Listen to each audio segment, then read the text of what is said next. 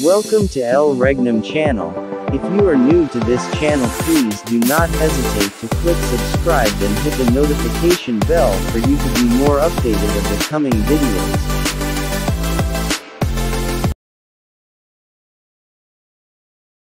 So, isang mapagpalang oras po sa ating lahat.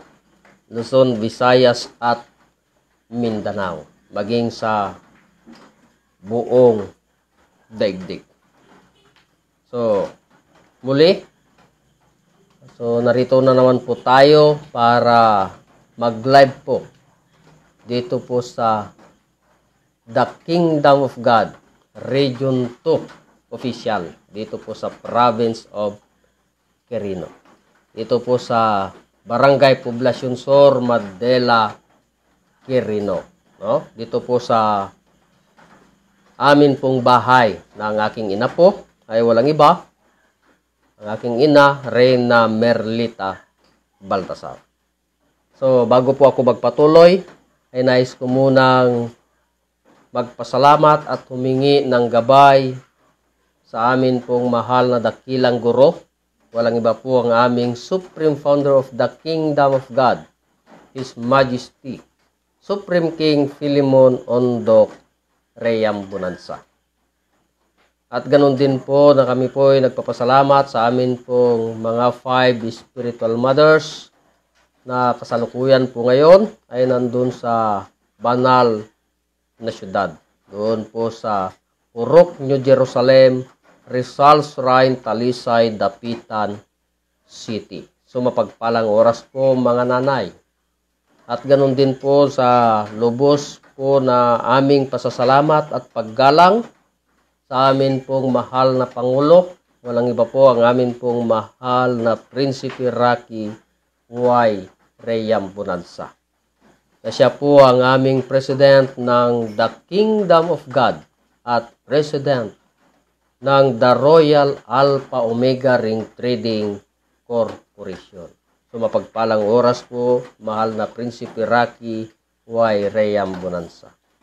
At ganun din po sa kapatid po ng ating mahal na prinsipe, walang iba po, ang amin pong Haring Adolfo B. Reyam Bonanza, na siya po ang ating president ng the Philippine Deuterium Development and Management Corporation.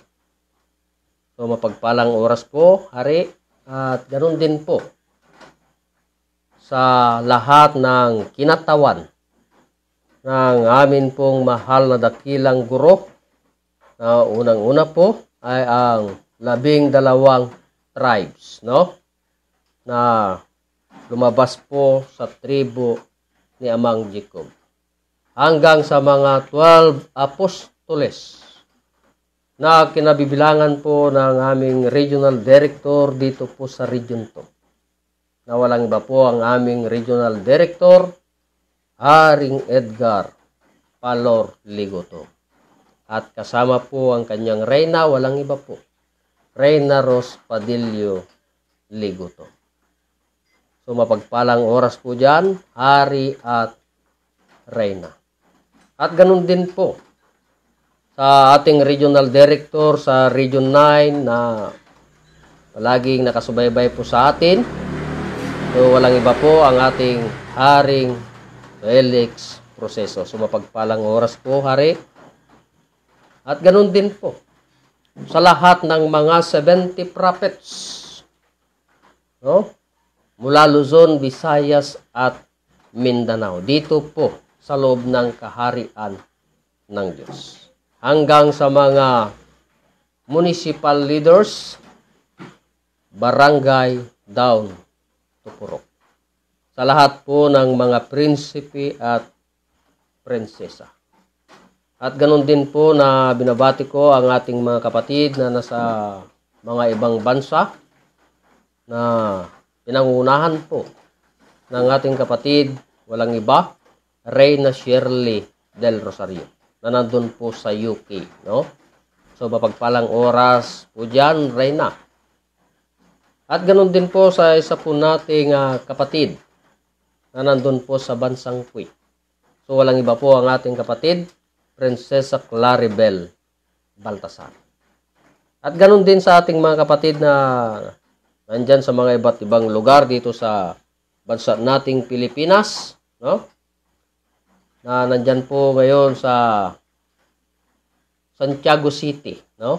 Yan po sa barangay Nagasikan. Na pinangunahan po ng ating kapatid, Haring Redentor Domingo. So pagpalang oras dyan, Hari. At kasama ang ating Haring Ramil Tadya, Haring Gino Tolentino, Reyna Gloria de Leon, Reyna Marites Saldivar, at Reyna Luz Biminda Gutierrez. At kasama ang ating prinsipi, Prinsipi JB Sales. So mapagpalang oras dyan, mga hari at mga reyna sa ating prinsipi. At ganun din sa family Pagumpana, no? Na nandito po ang ating kapatid na walang iba ang ating Haring Roger Pagumpana. No? Kasama po natin ngayon. Sa kanyang anak na nandun po sa Negros Occidental.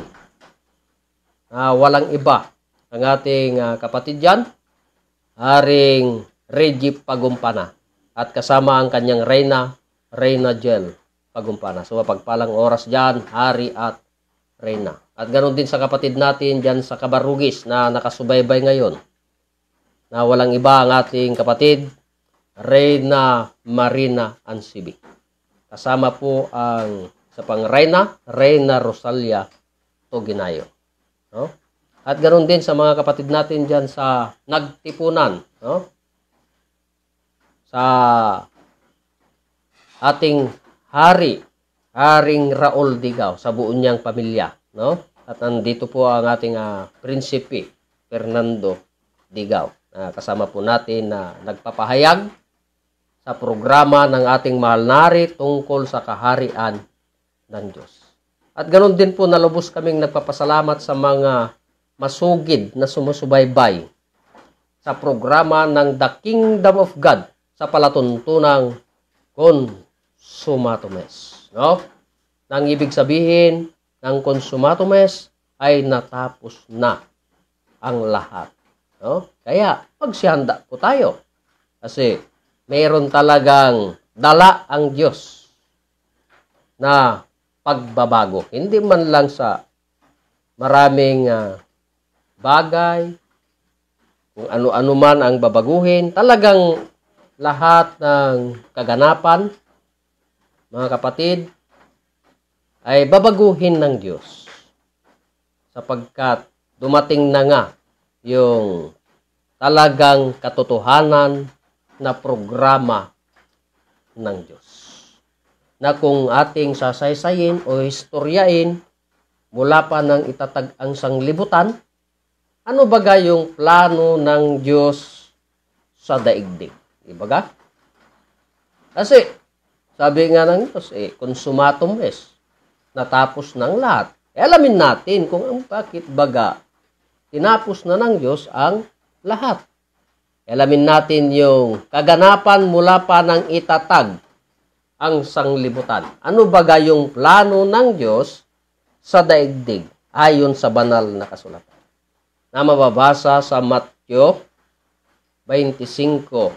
25.34. No? Yan, mga kapatid. Ito ay programa ng Diyos sa daigdig, ngunit meron talagang mapalad na pagbibigyan. Pakibasa rin. Ganito po ang mga basa ayon po sa Matthew 25.24. Ha? 25.34.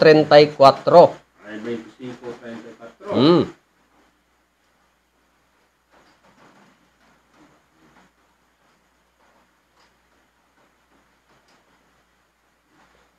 So, ganito po ang mabasa Mhm. sa 34, 35. 34. 25.34 sa Matthew. Okay. So, ganito po. Kung magkagayoy sasabihin ng hari sa nanga sa kanyang kanan, Mhm. Anong sinasabi? Magsiparito kayo, mga pinagpala ng aking ama. Manahin ninyo ang kahariang nakahanda sa inyo. Buhat nang itatag ang sanglibutan. Yan. So, napakaliwanag po yung nabasa sa banal na kasulatan na may hinanda ang Diyos. No? Mula pa nang itatag ang sanglibutan. No? Ngunit, sino yung sino yung tumatawag? No? Kasi sinabi doon na ali kayo. No? Sabi, sinabi ng hari. Di ba ka? Sa lahat ng mga nasa kanyang kanan. Ali kayo, mga pinagpala ng aking ama. Sino yung tumatawag? Ibaga yung anak. Manahin ninyo ang kahariang nakahanda sa inyo buhat pa ng itatag ang sanglibutan. Yan pala yung programa ng Diyos. Baga? Subalit, mga kapatid, ano baga yung nakatagong lihim sa loob ng kaharian ng Diyos? No? Sapagkat kung basahin natin yung kaharian ng Diyos, ay sabihin ito, religion o kaya'y sekta. No? Ngunit ano nga ba yung nakatago kako na lihim sa banal na kasulatan o sa loob ng kaharian ng Diyos? Tungkol sa dala ng ating Panginoon na kaharian ng Diyos. No? Ano nga ba yung ibig sabihin sa kaharian ng Diyos? Sapagkat maraming bumabasa sa salitang kaharian ng Diyos, ngunit naintindihan ba yung ibig sabihin na kaharian ng Diyos? No? Sapagkat hindi man nakukuha lamang sa salita ang salitang kaharian ng Diyos. E ano ito? E ano itong kaharian ng Diyos? Ha? E kung tignan po natin ayon sa banal na kasulatan at kung ating basahin na mabasa sa 1 Korinto 4.20, no? Ano yung nakatagong lihim diyan? Sa banal na kasulatan. No? 1 Corinto 4 verse 20. Pakibasa rin. So ganito po ang nakasulat. Uh-huh. Sapagkat ang kaharian ng Diyos ay hindi sa salita, Yan. kundi Hindi. sa kapangyarihan. Yan. Ang kaharian ng Diyos ay hindi nakukuha sa salita ko lamang. No? Kundi ano? Itong kaharian ng Diyos ay kapangyarihan. No? Sa madaling salita, gobyerno sa Diyos or government of God. No? Kaya, ang kaharian ng Diyos ay hindi ito religion. Ayon sa aming mahal na dakilang guro, mahal na rin Filimon Ream Bonanza, na ang the kingdom of God, non-religion, non-sectarian, non-political, non-prophet, at non-racial. Eh ano ito? Gobyerno sa Diyos. No? Or government of God. No?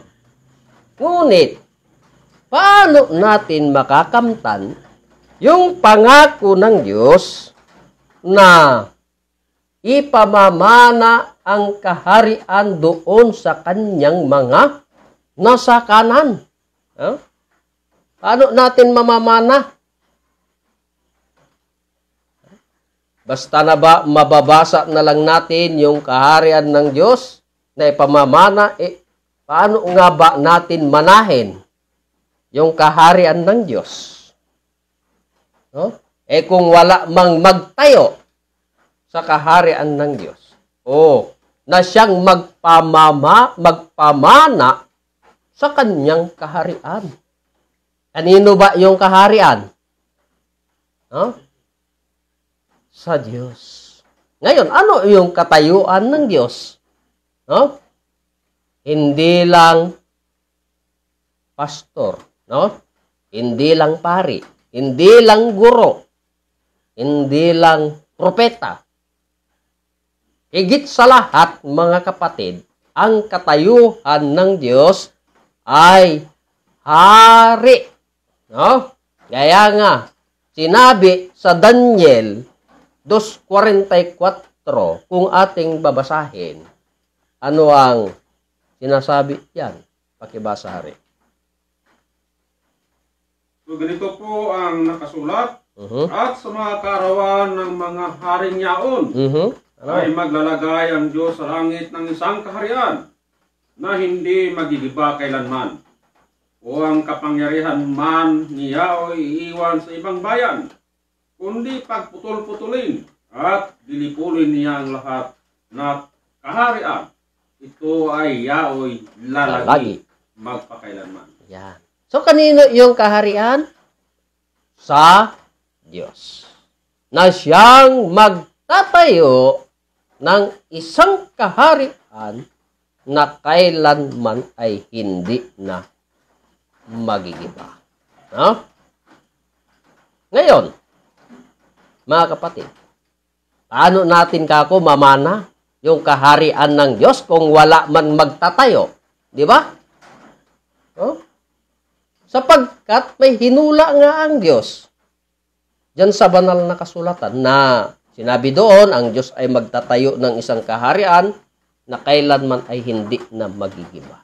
Alamin natin yung istorya ng Diyos para malaman din natin kung saan ipamamana ang kaharian ng Diyos na pinangakuhan pa mula nang itatag ang sanglibutan. Di ba ga? No? Hindi naman natin kaagad sabihin, Pilipinas. Alamin muna natin yung istorya ng Diyos tungkol sa kaharian ng Diyos. Saan baga nag-umpisa yung kaharian na plano ng Diyos? Saan baga nag-umpisa?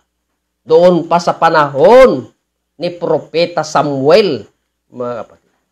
Doon pa nagsimula yung plano ng Diyos tungkol sa kaharian. No? Saan una nagkaroon ng kaharian sa daigdig? No? Saan ang una? Ha? Mga kapatid, kung tignan natin sa istorya ng Diyos, kasi mayroon pang unang naghari sa Israel. No? Mula doon sa panahon ni Propeta Samuel. Sino? Una ay si King Saul. Ito ang unang hari sa Israel, mga kapatid. Na naghari sa loob ng 40 years. No? Para malaman natin kako kung saan may bibigay yung pangako ng Diyos na ipamamana ang kanyang kaharian. No? Bago may pamana ang kaharian, ay itatayo muna ang kaharian ng Diyos. No? Kaya nga, pagkatapos naghari si King Saul, pangalawang hari doon ay si King David. Saan? Doon pa rin sa bansang Israel na naghari sa loob ng 4 years. Pagkatapos ni David, ibinigay ng Diyos ang kaharian sa anak ni David na si King Solomon. Yan. Ito ang tatlong hari na naghari sa bansang Israel. Oh? Na merong tagal bawat isa na kanilang paghahari ay merong tigpo 40 years sila na hari sa bansang Israel. No? Nasa panahon ni King Solomon ay natapos naghari sa negative 997 BC. Oh? Nasaan na yung kaharian sa Israel? Oh? alalahanin po natin mga kapatid sa istorya ng Diyos. No? Sa istorya ng Diyos na kung saan dumating ang hari sa Babylon at ang Israel ay sinakop. No? Sinakop. Sino yung hari sa bansang Babylon? No? Ito sa bansang Babylon. Walang iba kundi si King Nabucodonosor, no?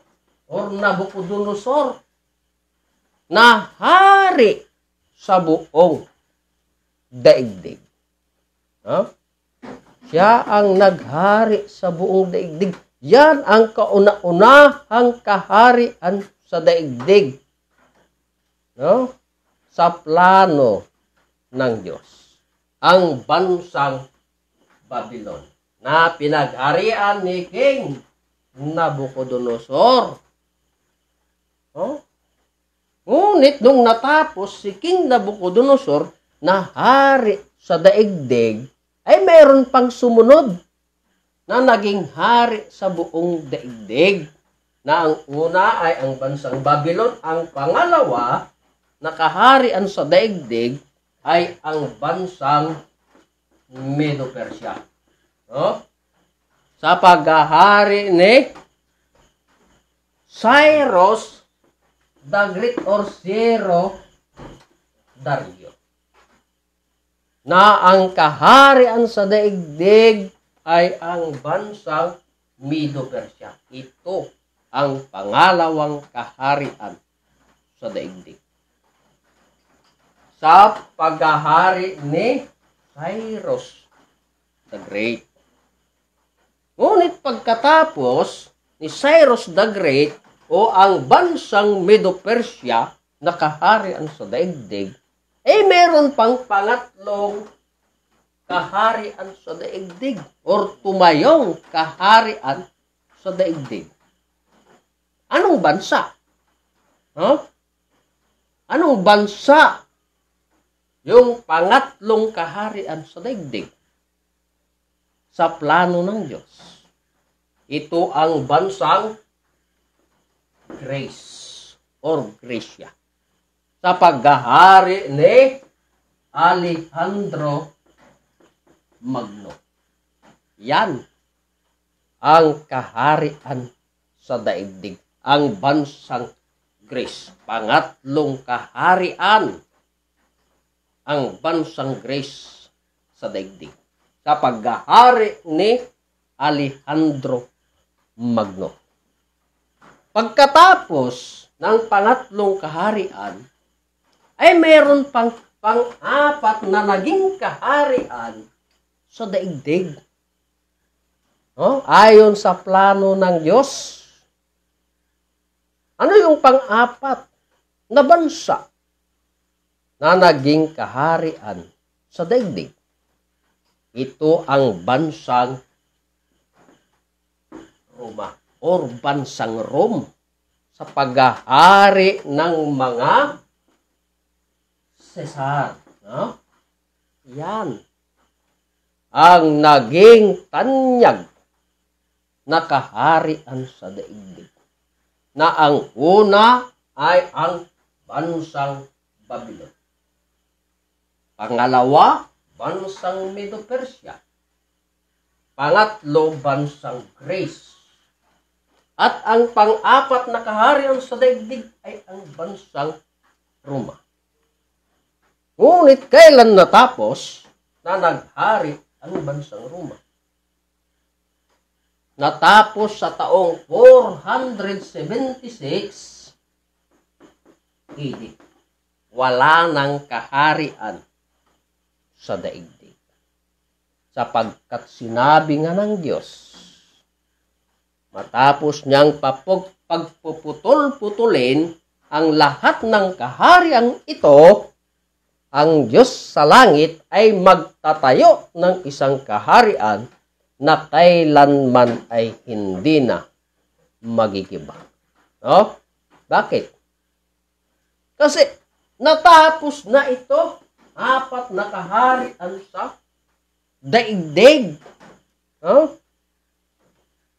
Kaya yung plano ng Diyos na magtayo ng isang kaharian na kailanman ay hindi na magigiba ay ang panglima na na siyang kingdom of God or kaharian ng Diyos na ito ay hindi na magigiba magpakailanman. No?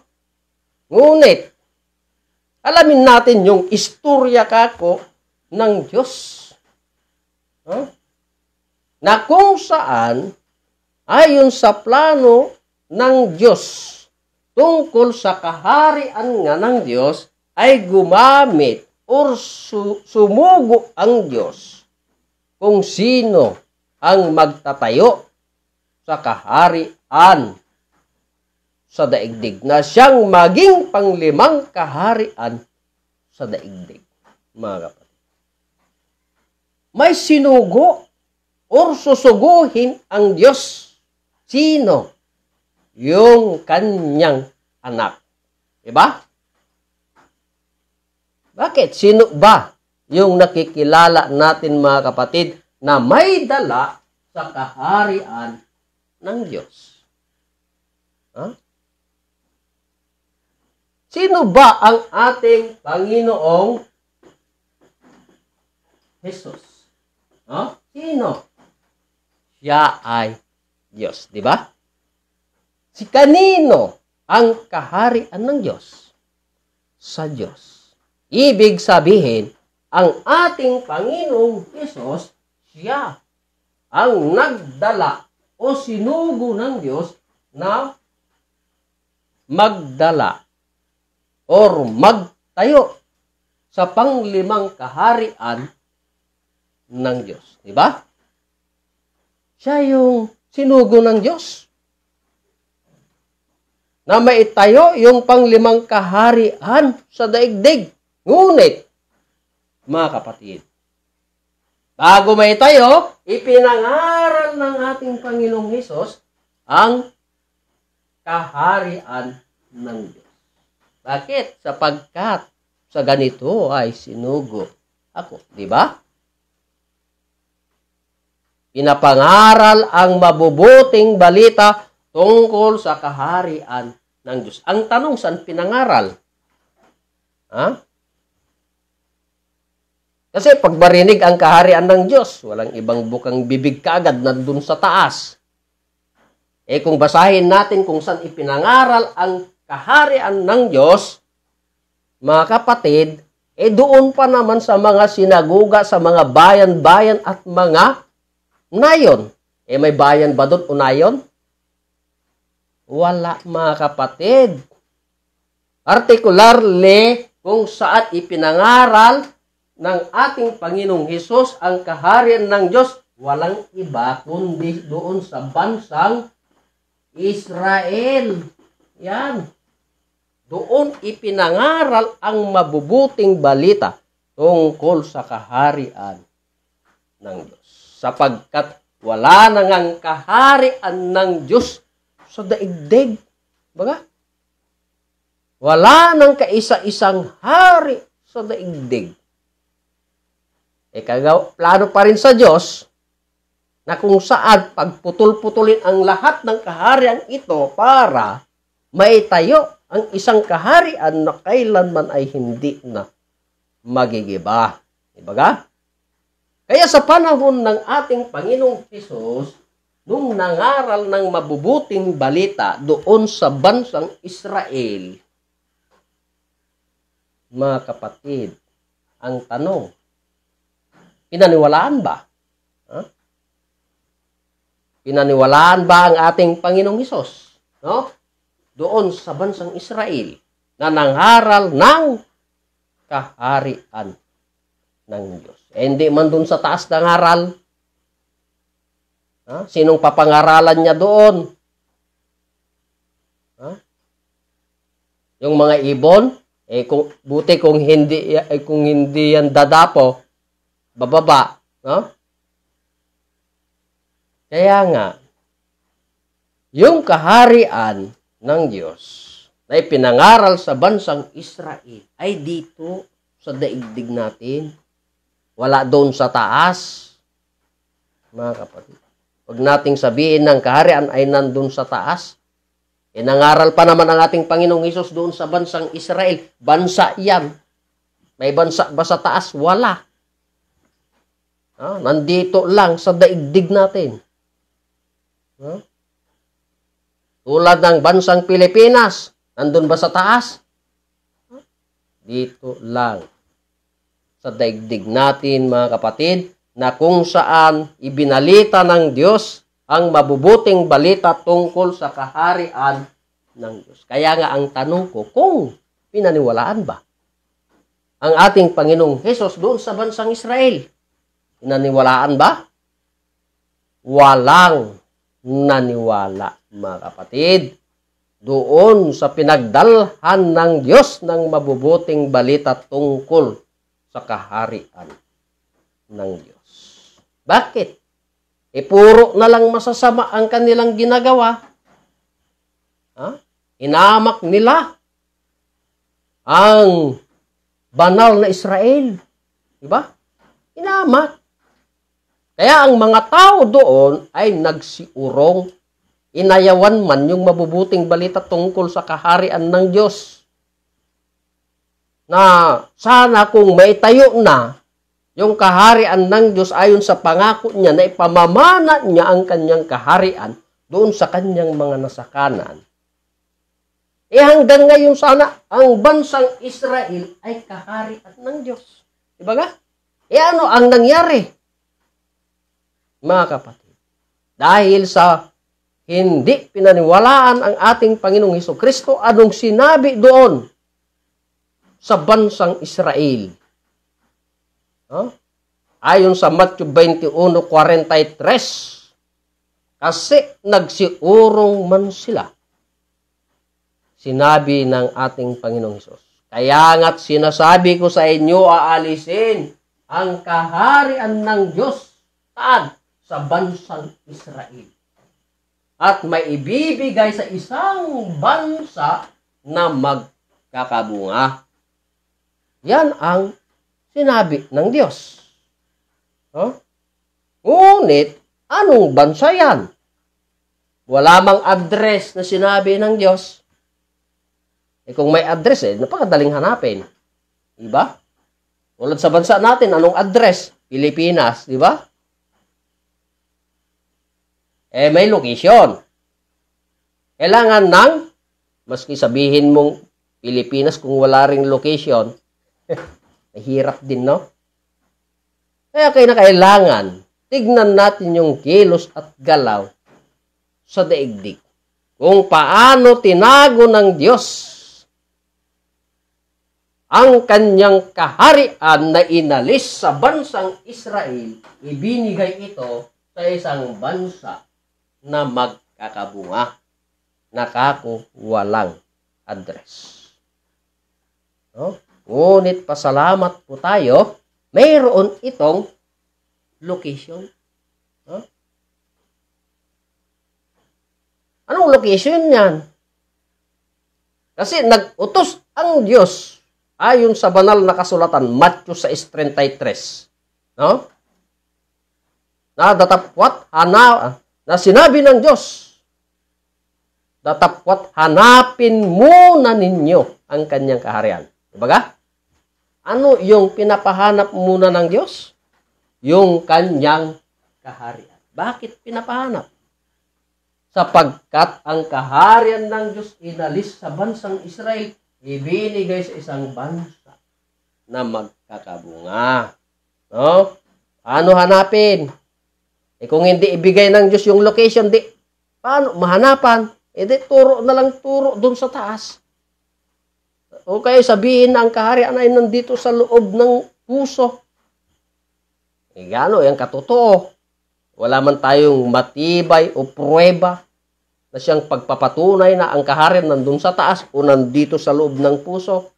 Buti pa doon sa tinuro ng Diyos na ayon sa aming mahal na dakilang guro na ang kaharian ng Diyos na inalis sa bansang Israel ay ibinigay sa isang bansa na nagkakabunga. Bansa ang sinabi ng Diyos. Hindi doon sa taas, hindi rin dito sa puso. Bansa. Napakaliwanag ang sinabi ng Diyos, mga kapatid. Ngunit, anong bansa kako? No? Ayon sa location na binigay ng Diyos, na mabasa sa banal na kasulatan sa Isayas 24.15. No? Na sinabi ng Diyos ay luwalhatiin ninyo. Sino yung luwalhatiin? Ha? Luwalhatiin ninyo. Ang Diyos sa makatuwid bagay ang Diyos ng Israel. Saan? Doon sa malayong silangan, sa mga pulo ng dagat. No? E paano natin yan mahanapan? Naluwalhatiin ang Diyos ng Israel doon sa malayong silangan sa mga pulo ng dagat. Ano ba yung nakatagong lihi doon sa malayong silangan na nasa mga pulo ng dagat? Ha? Yun pala yung ginamit ng Diyos na talinhaga, mga kapatid, para mahanapan natin yung kaharian ng Diyos. Ano baga ang ibig sabihin sa talinhaga ng Diyos? Lalwalhatiin ang Diyos doon sa malayong silangan sa mga pulo ng dagat na ang Diyos ng Israel. No? Ano yung nandon o nakatagong lihim doon sa malayong silangan? Yun pala ay ang mga bansa na nandun sa malayong silangan sa mga pulo ng dagat. Na kung saan lulalhatiin ang Diyos ng Israel sa malayong silangan sa mga pulo ng dagat. No? E anong mga bansa ang nandun? E kung i-research natin yan, e kumpleto na tayo sa gadget, kagamitan, sa daigdig, kumpleto na. Ilang pindot na lang sa cellphone. Huh? Tignan mo kung ano ang nandun sa malayong silangan, sa mga pulo ng dagat. Yan pala ay mga bansa. Na ang una ay ang bansang Japan. No? Di ba ga? Kahit tignan sa world map, search nyo, la, nyo na lang sa cellphone. Pangalawa, bansang Indonesia. No? Pangatlo, bansang Malaysia. Pang-apat, bansang Pilipinas. E kaya dyan? Ayon sa hinula ng Diyos, sapagkat ang kaharian nga ng Diyos inalis sa bansang Israel. No? Bansang Israel at ibinigay sa isang bansa na magkakabunga. Huh? Eh merong apat na bansa doon sa malayong silangan na nasa mga pulo ng dagat. Ngunit ang hula doon, ayon sa hinula ng Diyos, luwalhatiin ang Diyos ng Israel. Apat na bansa kako ang nandun sa malayong silangan. Mga kapatid. Sapagkat ang kaharian inalis sa bansang Israel, ibinigay sa isang bansa na nagkakabunga. Na ang hula, luwalhatiin ang Diyos ng Israel doon sa malayong silangan sa mga pulo ng dagat. Ang tanong mga kapatid, ang bansang Japan ba ay luinalhati nila ang Diyos ng Israel? Ha? Luinalhati ba sa bansang Japan? Hindi mga kapatid. Bakit? Isa lang ang sinasamba doon sa bansang Japan. Ano? Buddhism. Yan, Buddha. Kaya yung hula ng Diyos hindi umakma doon sa bansang Japan. No? Na ang hula ay luwalhatiin ang Diyos ng Israel doon sa malayong silangan sa mga pulo ng dagat. Pangalawang bansa ang bansang Indonesia mga kapatid. Ang tanong lang, Luinalhati ba ng bansang Indonesia ang Diyos ng Israel? Ha? Luinalhati ba mga kapatid? Hindi rin mga kapatid, hindi nakaakma ang hula ng Diyos. Sapagkat iisa lang ang sinasambahan ng bansang Indonesia. Ano ay? Indonesia, no? Kaya hindi umakma ang hula ng Diyos. Ang tanong sa bansang Malaysia, kaya ay ganun din sapagkat sila'y mga tawisin, iisa rin ang kanilang sinasambahan. No?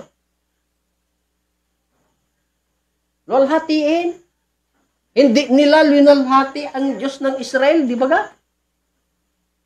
Eh, iba-iba yung dito sa Japan, Buddha, ito, mm, ano yung hayop, huh? Ganun din ang Malaysia. Dito kaya sa bansang Pilipinas, mga kapatid, ang tanong, linalhati ba ang Diyos ng Israel? Na ang pangalan ng Diyos ng Israel, ano? Ay Heso Kristo. Diba?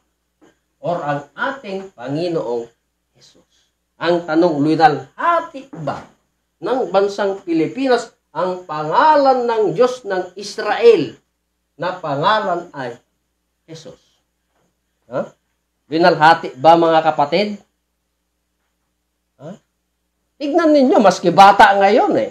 Walang bukang, walang ibang bukang bibig na ang Diyos daw ay si Panginoong Jesus. Totoo naman. No? Diba?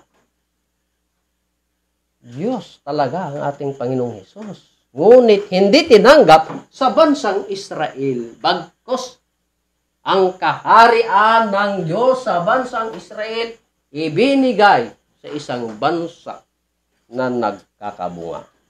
No? Kaya, ang bansang Pilipinas, mga kapatid, mula apari hanggang ulo, walang ibang bukang bibig. Kundi pangalan ng Diyos ng Israel. Anong pangalan? Panginoong Jesus. Diba? Kaya sa hula ng Diyos na luwalhatiin, Pilipinas ang nakaakma sa hula ng Diyos. No? Meron na. Kasi may location.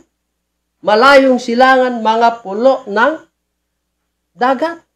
Eh, apat na bansa, Pilipinas man lang ang nakaakma doon sa hinula ng Diyos. Ha? na kung saan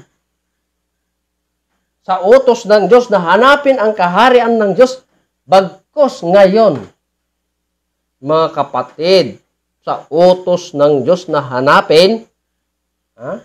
madali nang hanapin ngayon sapagkat sinabi nga ng Diyos ayon sa Matthew 24.14 hindi baga natin naririnig na ang kaharian ng Diyos ay ipangangaral sa buong sanglibutan at bigyan ng mga pagpapatunay. Ibaga? Meron na. Hindi na tayo mahihirapan maghanap, mga kapatid, na ang kaharian na ng Diyos ay dito na sa bansa nating Pilipinas. Gaano ba yan katotoo? No? Na ang bansa nating Pilipinas ay siya na ang kaharian ng Diyos na hindi na itayo sa bansang Israel. Bagkus ibinigay sa isang bansa na nagkakabunga, bansang Pilipinas na. No? Ano yan? Paano natin patunayan na ang bansang Pilipinas nga talaga ang siyang kaharian ng Diyos? No? Maraming salita na talagang linihim ng Diyos tungkol sa kaharian. Huh? Na hindi tinanggap sa bansang Israel. Na ito na ngayon ay aming pinapatunayan. Hindi lang dito sa bansa nating Pilipinas, maging sa buong daigdig. Para matupad ang hinula ng Diyos na ipangangaral ang ibang Helyong ito sa kaharian sa sanglibutan. No? Pinangangaral na. Binibigyan na natin ng talagang matibay na ebidensya. Kung ano ba yung mga basihan na nakahula sa banal na kasulatan. No? Kaya sa gabing ito, kaya amin na namang papatunayan sa inyo na dito talaga sa bansa nating Pilipinas ang siyang kaharian ng Diyos. No? Ayon sa banal na kasulatan. Ecclesiastes 1.9 na ang nangyari noon ay siya ring mangyayari ngayon. Ha? At walang bagong bagay sa ilalim ng araw. History repeats itself. Diba? Sa 3.15, mga kapatid, pakibasa rin. Sa Ecclesiastes 3.15.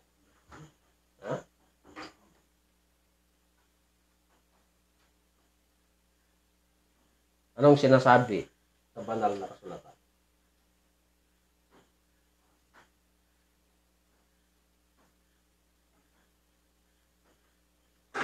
Ayon po sa Ecclesiastes 3.15. Uh-huh. So ganito po ang sinabi. Ang nangyari sa nagdaan ay nangyari na at ang mangyayari pa ay nangyari na rin at hinahanap uli ng Diyos ang nakarana. Yan. At hinahanap uli ng Diyos ang nakaraan na. Bakit? Kasi sabi ng Diyos ayon sa Revelation 22.13. Diba ka?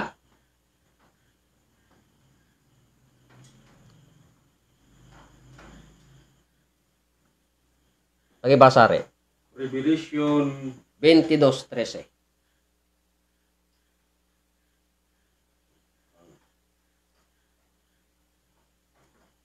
Veintidós 22.13. Mhm. So ganito po ang sinabi. Ako ang Alpha at ang Omega. Ako ang Alpha at ang tuloy Omega. at ang Omega. Yan. At ang una at ang huli. Ang Ang pasimula at ang wakas. Yan. Sabi ng Diyos, ako ang Alpha at ang Omega. Ang una at ang huli. No? So, meron itong kaganapan. Di ba ga?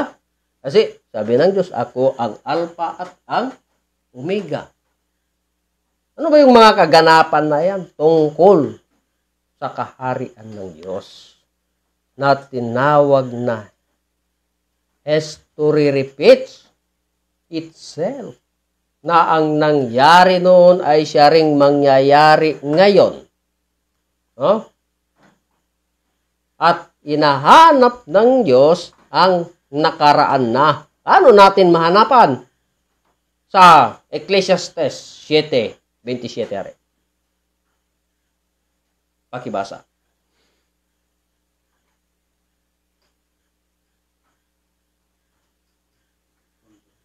Hmm? Ecclesiastes 7.27. 7.27. Mhm. So ganito po ang sinabi. Narito, ito'y aking nasumpungan, Yan. sabi ng mga ngaran. Oh. May naagapay ang isang bagay sa iba upang matagpuan ang kadalhilanan. Yan. Kaya nga, may history repeat itself. Kaya nga, kung ano yung kaganapan, ay meron ding kaagapay. Diba ka? Para mahanapan yung kadahilanan. Bakit ano ba yung kadahilanan? Sapagkat ang kaharian ng Diyos inalis sa bansang Israel, ibinigay sa isang bansa na nagkakabunga. History repeats itself. Ako ang Alpha at ang Omega. Ano ba itong Alpha? Ito yung lumang Jerusalem. Yan. Ito ang lumang Jerusalem. Eh, hindi mo man matawag na lumang Jerusalem yan kung walang bagong Jerusalem. Yan. Bagong Jerusalem. Yan, mga kapatid. History repeats itself. Alamin natin kung ano yung kaganapan sa lumang Jerusalem. Na kung ating balikan, yung kaganapan sa panahon na natapos naghari si King Solomon, no? Na natapos naghari si King Solomon sa negative 997 BC. Han. Dito natapos si King Solomon naghari sa negative 997 BC. Na kung saan ang Israel ay pinarusahan ng Diyos. No? Dahil sa kasalanan. Ngunit, sa pagdating ng mga anak ni King Solomon, dito naibigay ang parusa sa anak ni Solomon na si sino? Robwam at saka si Jeroboam. No? Na naparusahan ang Israel sa loob ng 309 years. Na kung ating isubtract, ang sukat ay 6 o 7 BC. Yan. Ito, 607 BC. Na kung saan sa 607 BC ay dumating ang hari sa bansang Babylon. At sinakop ang Israel. No? Yung mga hari sa Israel, kinuha ng hari sa bansang Babylon. Sino ang hari sa bansang Babylon? Si King Nabucodonosor. Yan. Hari ng bansang Babylon. No? Yung mga prinsipe, kinuha ni King Nabucodonosor. Ha? Kinuha doon sa bansang Babylon. Mga kayamanan ng Israel, dinala sa bansang Babylon. No? Kasi yan ay plano ng Diyos sa loob ng kaharian ng Diyos. No? Kaya sa panahon na pagsakop ni King Nabucodonosor ang bansang Israel ay naging tanyag sa daigdig na si King Nabucodonosor ay hari sa daigdig sa taong 6 o 6 BC naging tanyag na hari sa daigdig si King Nabucodonosor. Ngunit dahil sa kasamaan, maaring paiksihin ng Diyos ang paghahari ni King Nabucodonosor. Na imbes na 70 years, pinaiksi ng Diyos, naging 68 years naging 68 years. Huh? Ang tagal na paghahari ni King Nabucodonosor. Kaya kung ating isubtract ang 68 years sa 606 BC, ang sukat ay 538 BC. Mga kapatid. Na kung saan dito, ginamit ng Diyos ang bansang Medo-Persia. Ha? Ang bansang Medo-Persia na siyang magligtas sa mga anak ng Diyos doon sa pagkakulong sa bansang Babylon. Na ang hari sa bansang Medo-Persia ay si Cyrus the Great or Ciro Dario na dito pinili ng Diyos sapagkat si Cyrus the Great ay siyang pinahiran ng banal na langis, uh, banal na espiritu at banal na langis. Si Ciro, na siyang nagligtas sa mga anak ng Diyos.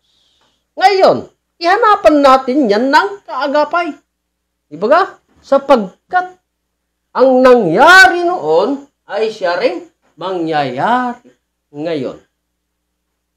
At inahanap ng Diyos ang nakaraan na. Diba Saan kaya muli yan magaganap? Sapagkat nasumpungan ng Diyos. No? Yung kaagapay. Saan kaya yan magaganap? History repeat itself. Paano natin istoryain yan? Paano natin kalagin yung istorya ng Diyos sa daigdig? Kung paano ma-repeat yung istorya ng Diyos sa daigdig. Sapagkat ang kaharian ng Diyos inalis sa bansang Israel, ibinigay sa isang bansa na nagkakabunga. History repeat itself. No? Nagbigay ang Diyos ng appointed time of God na mayroong sukat 2,520. No? Sapagkat history repeat itself. No? Ngayon, kunin natin ang kaganapan sa panahon ni King Solomon na natapos naghari sa negative 997 BC. No? Kunin natin, negative 997 BC. Kung isubtract natin yan mga kapatid, ang sukat ay 1523 na saan ang kaharian ng Diyos. Na inalis sa bansang Israel, ibinigay sa isang bansa na nagkakabunga. History repeat itself na ang nangyari noon ay siya ring mangyayari ngayon. No? At walang bagong bagay sa ilalim ng araw. Ihanapan natin ng kaagapay. No? Kung ano yung kaganapan dito sa lumang Jerusalem, dapat ganun din sa bagong Jerusalem. Hindi matawag na bago kung walang lumang Jerusalem. Di baga mga kapatid? Ngunit saan na naman galing yung appointed time of God na ating tinutukoy? Ha? Ay maraming istorya talaga ng Diyos. Ngunit gamitin natin itong appointed time of God na 2,520 para maisubtract sa negative 997 BC na may sukat 1523. Ngayon, Kunin natin ang 1523. Yan ay sukatan ng Diyos. Mga kapatid. Para maganap yung istorya sa lumang Jerusalem na siyang Alpha. At maganap dito sa bago na siyang Omega. Bagong Jerusalem. No? Na kung saan ang istorya sa lumang Jerusalem ay na na parusahan ang bansang Israel sa loob ng 309 years. Diba ga? History repeat itself. Kailangan maganap din doon sa bagong Jerusalem, mga kapatid. Sa loob ng 390 years, no? Kasi 1523, gagamit na tayo dito ng positive kasi pataas na yung bilang man sa taong 1523. Kaya gamit tayo ng plus. Yan. Ngayon, isolve natin. 3 plus 0 equals 3. 2 plus 9 equals 11, carry 1. 5 plus 3, 8 plus 1, 9, carry 1. 9, bring down 1. So may sukat 19, 13. Yan ang history repeat itself. No? Ngayon, dako tayo sa lumang Jerusalem na kung saan sa taong 6 o 7 BC dito mga kapatid ang hari sa bansang Babylon na si King Nabucodonosor ang kanyang espiritu ay pumasok sa taong 1930. No? Para makuha natin ang istorya sa Diyos. Sapagkat ang kaharian inalis sa bansang Israel, ibinigay sa isang bansa na nagkakabunga. Ngayon mga kapatid, no? para ganap na maging tanyag yung pinasukan ng banal na Espiritu Santo sa taong 19, 1913. Ang tanong, sino baga yung pinasukan ng Espiritu ni King Nabucodonosor sa taong 1913? Hindi ako mahiya mga kapatid na ang pinasukan sa taong 1913 ay ang ating kapatid Felix Usagon Y. Manalo. Yan ang pinasukan ng espiritu ni King Nabucodonosor. Na siyang hari sa buong daigdig, tanyag sa taong 606 BC na siya'y hari sa daigdig. Kailangan history repeat itself. No? Paano maging tanyag? Kailangan sa taong 1930, 1914, ang ating kapatid Felix Usagon Y. Manalo ay rinhistro ang INC. Kailan? Noong July 27, no? 1914. Kaya, naging tanyag sa daigdig ang ating kapatid Felix Usagon Y. Manalo na rinihistro ang Iglesia ni Kristo sapagkat ang espiritu ni King Nabucodonosor ay pumasok sa taong 1913 hanggang sa taong 1914. Kung gaano katagal nag, naging tanyag si King Nabucodonosor, kailangan ganun din ang maganap sapagkat ini, ini agapay natin sa mga kaganapan. Mga kapatid. Ayon sa programa ng Diyos sa daigdig. Sapagkat ang kaharian ng Diyos inalis sa bansang Israel, ibinigay sa isang bansa na nagkakabunga. Kailangan natin ng kaagapay sa kaganapan ng, sa, sa lumang Jerusalem, kailangan maganap din sa bagong Jerusalem. Kaya, ang ating kapatid, uh, si King Nabucodonosor, ay naghari sa loob ng 68 years. Kailangan magarap din sa bagong Jerusalem. No? Naging tanyag din sa loob ng 68 years. Mga kapatid. No? Na kailangan mga kapatid sapagkat ang espiritu nga ng ate ay yung pinasukan ni King Nabucodonosor ay talagang ganun din yung kaganapan. Ano ba yung kaganapan? Itong si King Nabucodonosor ay hindi naniniwala na si Kristo ay Diyos. No? Kaya kung mayroong magbanggit sa pangalan ng Diyos doon, sa panahon ni King Nabucodonosor, ay pinapatay, mabagsik. Di ba ga? Eh, history repeat itself. Dito naman ngayon. No? sa taong 1914. Hindi din kaya mabagsik. Ha?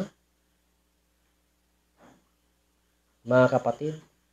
Dito, ang ating kapatid Felix Y. Manalo ay hindi naniniwala din na si Kristo ay Diyos. No? Kaya sa kanyang mga kasaman, mangaral siya, sila na si Kristo ay Diyos. Nako, mabagsik yan si kapatid, kapatid Felix Way Manalo. Kaya, kailangan lang talaga kaagapay sa kaganapan sa lumang Jerusalem at sa bagong Jerusalem. Kaya tumagal din sa loob ng 68 years. Kaya kung ating i-plus, anong sukat? 1982. Kailangan dumating din yung magliligtas sa mga anak ng Diyos na nakulong, inalipin, baga, mga kapatid. Sapagkat hindi man sila naniniwala na si Kristo ay Diyos, ililigtas yan ng Diyos. Ha? Kaya, sa taong 1982, ang tanong, sinong dumating sa taong 1982? Ha? Hindi po ako mahiya na ipagsigaw walang iba kundi ang aming divine mentor, Supreme King, Dilimon, Ondo, Reyam Bonanza. Sapagkat ayon sa istorya ng Diyos na hinahanapan ng kaagapay sa mga kaganapan sa lumang Jerusalem, no? sapagkat history repeat itself, ako ang Alpha at ang Omega, ang una at ang huli. Ba? Ang pasimula at ang wakas. Sino? Ang Diyos. Mga kapatid. Kaya history repeat itself. No? Na kailangan yung espiritu o yung banal na espiritu at banal na langis kailangan papasok naman ngayon sa taong 1982. Totoo ba? Totoo mga kapatid. Huh? Kaya nandun na, pumasok na sa taong 1982 sa katauhan ng aming mahal na dakilang guro, ang banal na espiritu at banal na langis. Na siya magliligtas sa mga anak ng Diyos na nakabilanggo o naaalipin man mga sa panahon ni King Cyrus the Great. No? Na siyang nagtayo pa rin ng tahanan ng Diyos at kaharian ng Diyos. Si Cyrus the Great. Eh dito kaya magaganap din sa taong 1982 ay tunay na magaganap, mga kapatid. Sapagkat ang aming mahal na dakilang guro sa taong 1982, July, no?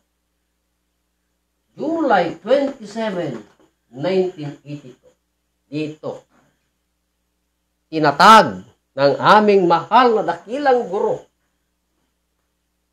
Ano ang tinatag?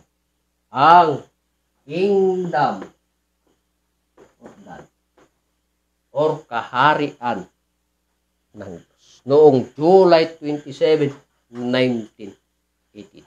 Dito, isinigaw ng aming mahal na Haring Filimon Ondo Korean Bonanza ang the kingdom of God. Saan? Dito sa bansa nating Pilipinas. Particularly doon sa Mindanao. No?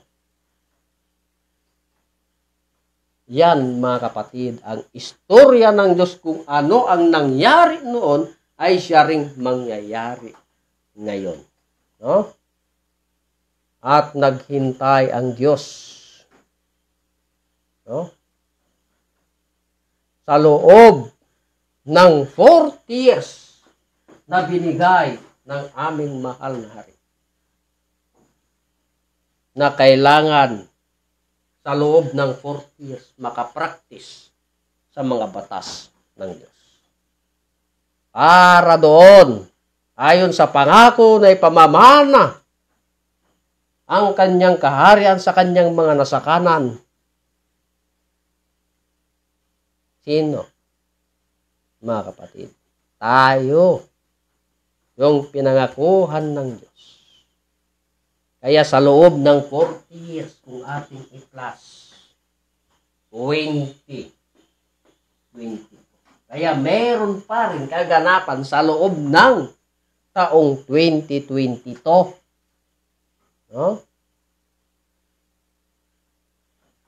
mga kapatid yan ang napakalaki na programa ng aming mahal na hari. Mahal na haring Filimon Ondok Reambunansa. Para lalabas na yung isang kaharian na kailanman ay hindi na magigiba.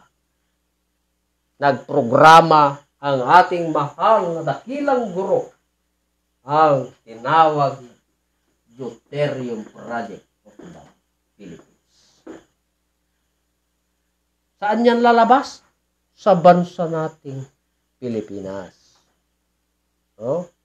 Kaya, mapalad ang bansa nating Pilipinas sapagkat ang mga kaganapan ng una na istorya ng Diyos mula pa nang itatag ang sanglibutan ay tungkol na sa kaharian ng Diyos. Na kanyang pinagpuputol-putol ang mga unang kaharian ito at hindi pwedeng iiwan ng Diyos sa isang bayan ang kaharian, kundi huh, bagkos itatayo ng Diyos ang kaharian sa isang bansa na kailanman ay hindi na magigiba.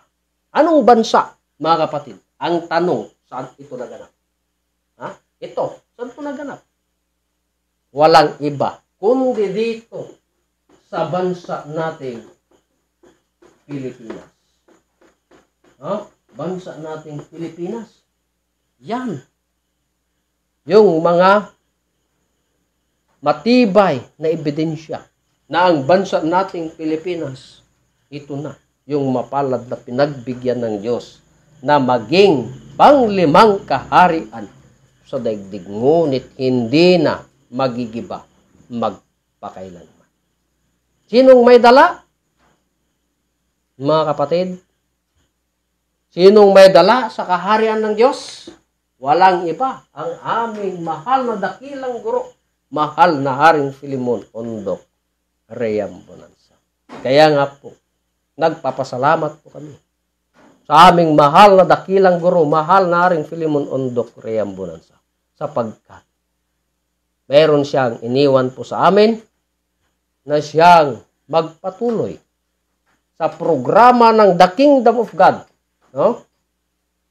Kaya lubos po kaming nagpapasalamat at gumagalang sa aming mahal na Pangulo, mahal na Prinsipe Rocky Y. Reambranza, na siyang binigay sa atin na Pangulo sa The Kingdom of God at the Royal Alpha Omega Ring Trading Corporation sapagkat ang batas ay nandun sa Central Office. Di ba? sa tahanan ng ating mahal na hari. Ang Diyos natin, mahal na hari, mahal na rin Philemon Ondok Ream Bonanza, ngunit ano din ang tawag natin sa anak? No? Diba? Kung Diyos ang ama, ay Diyos din ang anak. Tulad baga, halimbawa, mga kapatid, pag namasukan ka bilang driver, driver, ika na lang natin, Ha? Kinuha kang driver, anong tawag mo? Sa amo mo. Diba, boss? Eh, anong tawag mo rin sa anak ng boss mo? diba, boss din? Ganyan lang yan. Kaya, ang istorya ng Diyos sa lumang Jerusalem ay umakma dito sa bansa nating Pilipinas, kaya wala nang ibang mapalad kundi ang bansa nating Pilipinas na siyang maging kaharian na sa daigdig. Kaya magpakasaya po tayo sapagkat ang kaharian ng Diyos ay dito na sa bansa nating Pilipinas. So yan po ang aming tinalakay sa kaorasang ito na hindi po kami wala po kaming tigil o sawa na magsigaw na itong bansa nating Pilipinas ay siyang kaharian ng Diyos. No? Sapagkat mayroong mga matibay na ebidensya o pagpapatunay na dito talaga sa bansa nating Pilipinas ay siyang kaharian ng Diyos. So, bago po ako magtatapos, ay humingi po ako ng pasasalamat sa aming uh, mga, sa aming uh, regional director dito sa region to, Haring Edgar Palor Ligutom at sa kanyang reyna po, Reyna Rospadillo Ligutom. At ganun din po na lubos na pasasalamat po namin sa amin pong mahal na Pangulo, mahal na Prinsipe Rocky Y. Reyam Bonanza. Higit sa lahat, sa amin pong mahal na Haring Filimon Ondok Reyam Bonanza. Kaya